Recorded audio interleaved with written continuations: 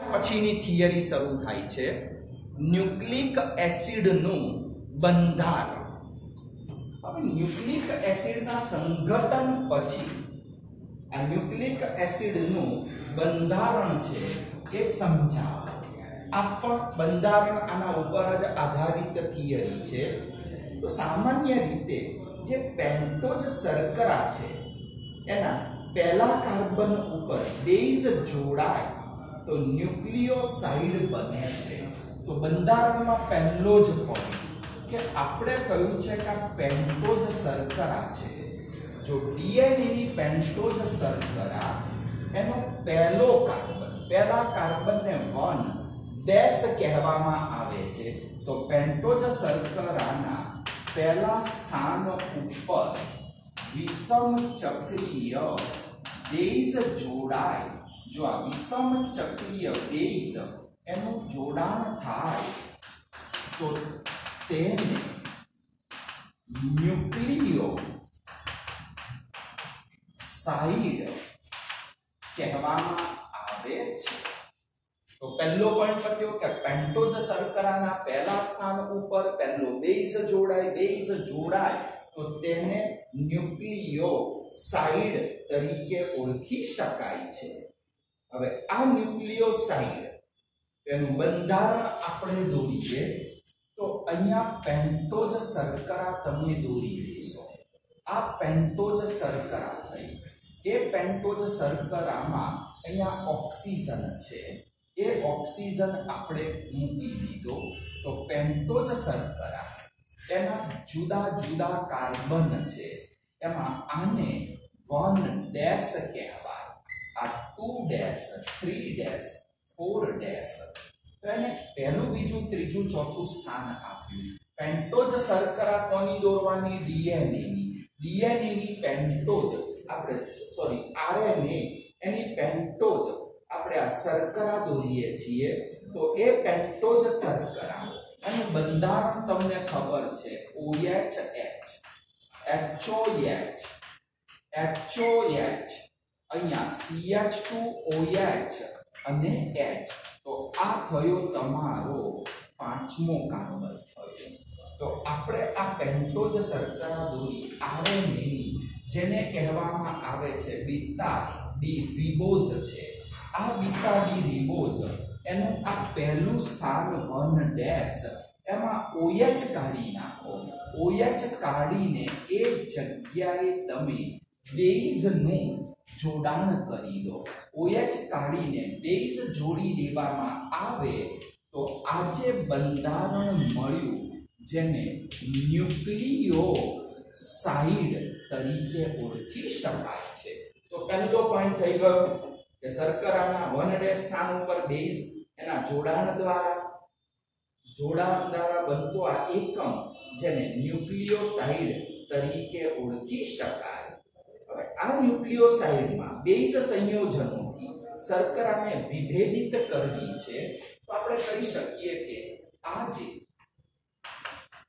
Nucleo side છે, એ ન્યુક્લિયોસાઇડને base શર્કરાથી અલગ પાડવા એટલે કે વિભેદિત કરવા. તો ન્યુક્લિયોસાઇડ એ ન્યુક્લિયોસાઇડને બેઝ, આ ન્યુક્લિયોસાઇડ એ ન્યુક્લિયોસાઇડને બેઝ સંયોજનોથી, તો ન્યુક્લિયોસાઇડમાં બેઝ સંયોજનો, આ ન્યુક્લિયોસાઇડમાં બેઝ જે સંયોજનો છે, એ ન્યુક્લિયોસાઇડમાં બેઝ સંયોજનોથી આ જે શર્કરા છે, એ શર્કરાને વિભેદિત કરવી છે. તો ન્યુક્લિયોસાઇડમાં બેઝ સંયોજનોથી આ શર્કરાને વિભેદિત અલગ કરવી હોય ને એ અલગ કરવા માટે જ. બેઝ સંયોજનોથી આ શર્કરાને અલગ કરવા માટે આપણે જે શર્કરા છે, એ શર્કરાના કાર્બન ઉપર આપણે one dash, two dash, three dash, four dash, five dash આવા ડેશ વડે ક્રમ આપવામાં આવે છે. એટલે આ એક રીતે એક વાક્ય તમારું આ થઈ ગયું પણ પહેલો પોઈન્ટ આટલો પૂરો થયો. હવે ન્યુક્લિયોસાઇડ શર્કરા અર્ધ ભાગ સાથે ફોસ્ફોરિક એસિડ પાંચમા કાર્બન જોડાય તો ન્યુક્લિયોટાઇડ બને છે. તો હવે બીજો પોઈન્ટ આવે બીજા પોઈન્ટની અંદર આપણે કહી શકીએ કે આ જે ન્યુક્લિયોટાઇડ છે, તો આ ન્યુક્લિયોટાઇડ જે પ્રાપ્ત થયું છે, એ ન્યુક્લિયો સોરી આ જે ન્યુક્લિયોસાઇડ છે, એ ન્યુક્લિયોસાઇડ ના શર્કરાના પાંચમો કાર્બન. તો આ કયો તમારો પાંચમો કાર્બન. એ શર્કરાના અર્ધ ભાગ સાથે. તો આ શર્કરાના અર્ધ ભાગ સાથે પાંચમા સ્થાને કોને જોડો છો? તો પાંચમા સ્થાને આપણે ફોસ્ફોરિક એસિડ, એનો ફોસ્ફેટ આયન જોડવો છે. તો પાંચમા સ્થાને ફોસ્ફોરિક જે એસિડ છે, એ ફોસ્ફોરિક એસિડ. આ ફોસ્ફોરિક એસિડ, જેનો ફોસ્ફેટ આયન PO4 3 તો S3PO4 માંથી PO4 3 એ જોડાય અને પાંચમા સ્થાને ફોસ્ફોરિક એસિડ જો જોડાય તો તેને ન્યુક્લિયો સાઇડના બદલે ટાઇડ કહેવામાં આવે છે. ન્યુક્લિયો સાઇડ હતું. સાઇડમાંથી શું બને? ન્યુક્લિયો ટાઇડ પ્રાપ્ત થઈ શકે છે. તો હવે ન્યુક્લિયોટાઇડનું પણ આ જ રીતે બંધારણ દોરો. આનું આ બંધારણ પણ પાંચમા કાર્બન ઉપર OH ના સ્થાને ફોસ્ફેટ સમૂહ તમે મૂકશો. હવે ફોસ્ફેટ PO4 3 એનું બંધારણ કેવું હોય? તો એ જે બંધારણ છે, એમાં ફોસ્ફરસની સાથે ચાર ઓક્સિજન હોય. પણ એક ઓક્સિજન ડબલ બંધથી બાકીના ત્રણ ઓક્સિજન એકલ બનતી PO4 3 અને ફોસ્ફેટ આયન કહેવાય. એ ફોસ્ફેટ આયન પાંચમા કાર્બન ઉપર જોડાય તો એ જ પેન્ટોઝ શર્કરા છે. એ શર્કરા આપણે દોરી દઈએ તો એ પેન્ટોઝ શર્કરા. અહીંયા ઓક્સિજન, અહીંયા આગળ આ તમે મૂકી દેશો. અહીંયા લખશો પહેલા બેઝ લખશો. તો સૌ પ્રથમ અહીંયા બેઝ એટલે કે આપણે ન્યુક્લિયોસાઇડ દોરી દેવાનું, પછી અહીંયા એચ પછી એ જ રીતે HOH અહીંયા પણ આવે HOH અહીંયા H, અહીંયા CH2OH છે. તો આ તમારી ન્યુક્લિયોસાઇડ થયું એ ન્યુક્લિયોસાઇડ એના પાંચમા કાર્બન જે છે, એના ઉપરથી OH જતો રહે. એ OH ના બદલે આ ફોસ્ફેટનું એક ઓક્સિજન અહીંયા જોડાઈ જશે. એક ઓક્સિજન જોડાય એકલ બંધ વાળો અને અહીંયા તો પી ડબલ બંધ ઓ ઓ માઇનસ ઓ માઇનસ આવશે. તો આવી રીતે આ જોડાણ તમારું થઈ જશે. આ ફોસ્ફેટ આયન જોડાઈ પાંચમા કાર્બન ઉપર ઓએચના સ્થાને. તો આ જે શૃંખલા તમને પ્રાપ્ત થઈ એ શૃંખલાને ન્યુક્લિયો ટાઇડ તરીકે તમે ઓળખી શકો. તો આ તમને ન્યુક્લિયો ટાઇડ એનું બંધારણ પ્રાપ્ત થઈ શકે છે. બે પોઈન્ટ પતી ગયા ન્યુક્લિક એસિડ સંયોજનોનું બંધારણ. એની અંદર પહેલા પેન્ટોઝ શર્કરાના પહેલા સ્થાને બેઝ જોડાવાથી ન્યુક્લિયોસાઇડ મળ્યું આરએનએ નું બંધારણ દોરવાનું, ત્યાર પછી એના પાંચમા સ્થાને OH ના બદલે, કે OH ના બદલે બેઝ, પાંચમા સ્થાને OH ના બદલે આ ફોસ્ફેટ આયન જોડી દીધો. તો એ જે તમને મળ્યો એ ન્યુક્લિયોસાઇડમાંથી ન્યુક્લિયોટાઇડ પ્રાપ્ત થઈ શકે છે. હવે આવી ન્યુક્લિયોટાઇડ એના સંયોજનો એકબીજા સાથે ત્રીજા અને પાંચમા કાર્બન પરમાણુએથી ફોસ્ફોડાયએસ્ટર બનથી જોડાય તો વિશિષ્ટ પ્રકારની ડાય ન્યુક્લિયોટાઇડ બનાવે છે. તો હવે તમે આવા બે ન્યુક્લિયોટાઇડ એમનું એકબીજા સાથે જોડાણ બતાવો. તો અહીંયા પહેલા ન્યુક્લિયોટાઇડ છે, એ દોરી દેશો અહીંયા ન્યુક્લિયોટાઇડ આપણે દોરી દઈએ તો અહીંયા લખી શકાશે બેઝ અહીંયા એચ પછી HOH HOH H પણ આ જગ્યાએ CH2 એની સાથે O P ની સાથે ત્રણ ઓક્સિજન એક ડબલ બંધથી બીજા એકલ બંધથી માઇનસ તો આ એક ન્યુક્લિયોટાઇડ બન્યું એની સાથે સેમ આવું બીજું ન્યુક્લિયોટાઇડ તમે દોરી શકો. આવું બીજું ન્યુક્લિયોટાઇડ દોરી દો. બીજા ન્યુક્લિયોટાઇડ એમાં પણ અહીંયા મૂકશો બેઝ. અહીંયા H H O H H O H અહીંયા એચ અહીંયા CH2 પણ એ CH2 સાથે ફોસ્ફેટ સમૂહ પી ફોસ્ફેટના ત્રણ ઓક્સિજન એક ડબલ બંધથી બાકીના બે એકલ બંધ વાળા આ ઓક્સિજન માઇનસ થયા. તો આ રીતે એક ન્યુક્લિયોટાઇડ બીજી ન્યુક્લિયોટાઇડ આ બંને ન્યુક્લિયોટાઇડ આપણે દોરી લીધી, તો આ ન્યુક્લિયોટાઇડ આવી ગઈ હવે બે ન્યુક્લિયોટાઇડ એકબીજા સાથે જોડાય, તો ફરી એના એ બંધારણ મેં દોર્યા. પણ એક બંધારણનો ત્રીજો કાર્બન, બીજા બંધારણનો પાંચમો કાર્બન.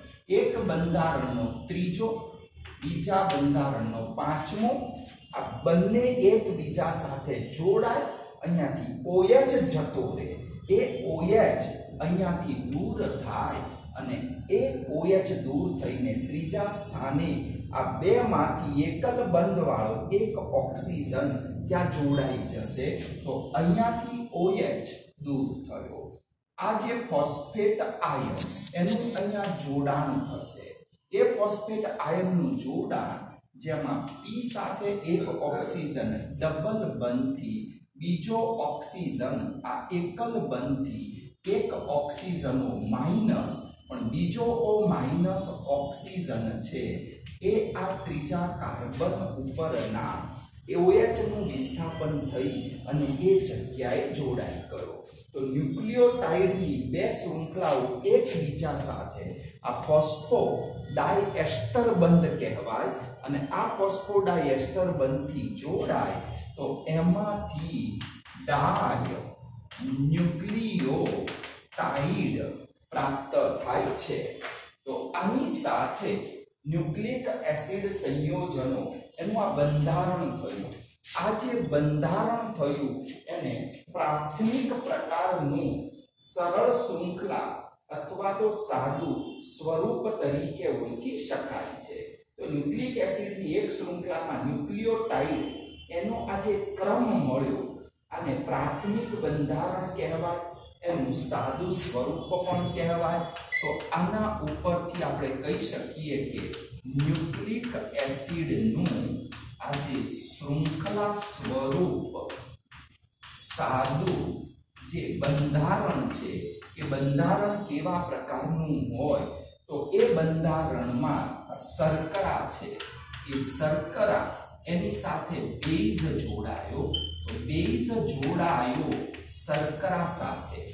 બેઝ શર્કરા સાથે જોડાય અને એમાંથી ન્યુક્લિયો સાઇડ તમને પ્રાપ્ત થયું. પછી એની સાથે ફોસ્ફેટ સમૂહ જોડાયો અને એ ફોસ્ફેટ જોડાવાથી ન્યુક્લિયોટાઇડ બન્યો. આનું વારંવાર શું થાય? પુનરાવર્તન થાય. વારંવાર પુનરાવર્તન આવે શર્કરા પછી આવે ફોસ્ફેટ આટલા ભાગનું વારંવાર n વખત પુનરાવર્તન થાય એટલે વારંવાર એ જ બેઝ શર્કરા અને ફોસ્ફેટ એનું વારંવાર પુનરાવર્તન થઈ લાંબી શૃંખલા બને ત્યારે ન્યુક્લિક એસિડ શૃંખલાનું આ સાદું બંધારણ અથવા તો એને પ્રાથમિક સ્વરૂપ તરીકે પણ ઓળખી શકાય તો આની સાથે આ થિયરી તમારી પૂર્ણ થઈ પણ ફરી એકવાર ચેક કરી લો એમ કે બહુ ડિસ્ટર્બ થયા આની અંદર તો અહીંયા ન્યુક્લિક એસિડનું બંધારણ સૌ પ્રથમ પેન્ટોઝ શર્કરા તો અહીંયા આરએનએ ની પેન્ટોઝ શર્કરા લેવાની બીટા ડી રિબોઝ એટલે કે અહીંયા OH HOH HOH CH2OH અને OH એમાં પહેલા સ્થાન ઉપર OH કાઢીને બેઝ જોડ્યો, તો આને ન્યુક્લિયોસાઇડ તરીકે તમે ઓળખી શકો. તો આ તમને ન્યુક્લિયોસાઇડ મળ્યું.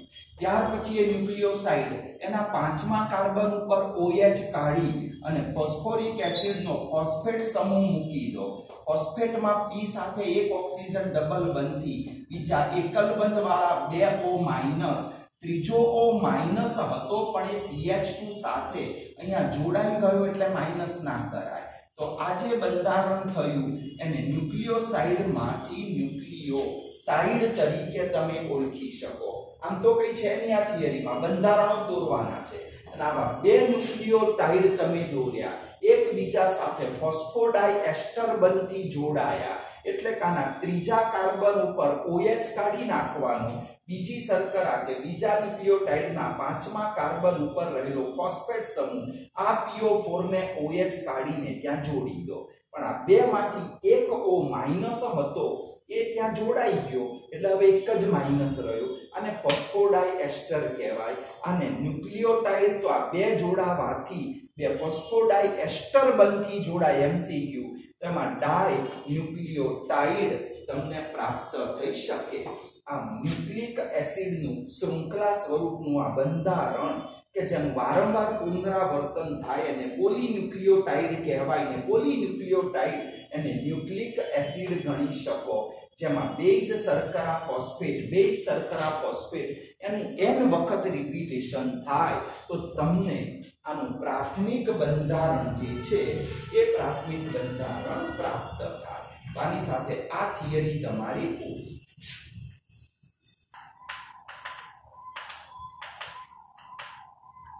તો પ્રાથમિક બંધારણ પૂર્ણ થયું. હવે આવે છે ન્યુક્લિક એસિડ. એનું દ્વિતીયક બંધારણ અથવા તો ડીએનએ નું સર્પિલ બંધારણ સમજાવો.